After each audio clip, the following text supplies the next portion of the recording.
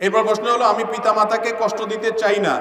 আমার ভালো কথাটা পিতামাতার বিপরীতে বুঝে, বিপরীত বুঝে পিতা পিতামাতা কষ্ট পায়, তাহলে করণীয় কি? আপনি ঠিক বলছেন। আপনি কোনো বেয়াদবি করেন নাই। তারপরও তারা ভুল বুঝছে। এরকম যদি হয়, আপনার কোনো অসুবিধা হবে না।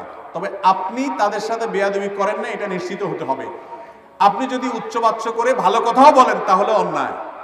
তারা নামাজ পড়ে না। ধমক দিয়ে কথা বললেন। অন্যায় কাজ করে।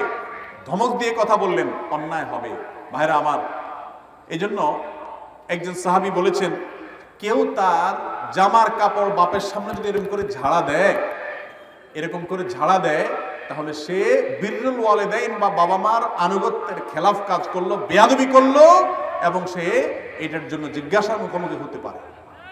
এত বড় ব্যাপার বাবা মা। আমাদের আজকাল সবচেয়ে বেশি যার সাথে রুক্ষ ব্যবহার করার রাইট আছে বলে আমরা মনে করি। যার সাথে যা তা বলা যায়, তার নাম হলো মা বাবা। তার নাম হলো কি? সব জায়গায় বিড়ালের মতো, শুধু মায়ের কাছে আসলে ঝাড়ি বাবার কাছে আসলে ঝাড়ি। অতএব এগুলো করা যাবে না, আল্লাহ আমাদের বোঝার তৌফিক দান করুন।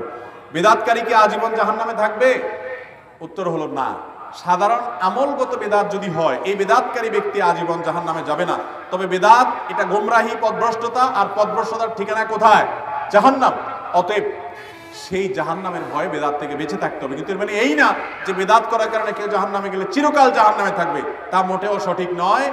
বরং বেদাত যদি আকিদাগত বেদাত হয় ইমান নষ্ট হয়, কুফুরি হয়, বড় শিরক হয়, বড় কুফুরি হয়, তাহলে সেক্ষেত্রে সে চিরকাল জাহান নামে যাবে। ধরেন একজন একটা বেদাতি আমল করতেছে, এর কারণে সে চিরকাল জাহান নামে যাবে না।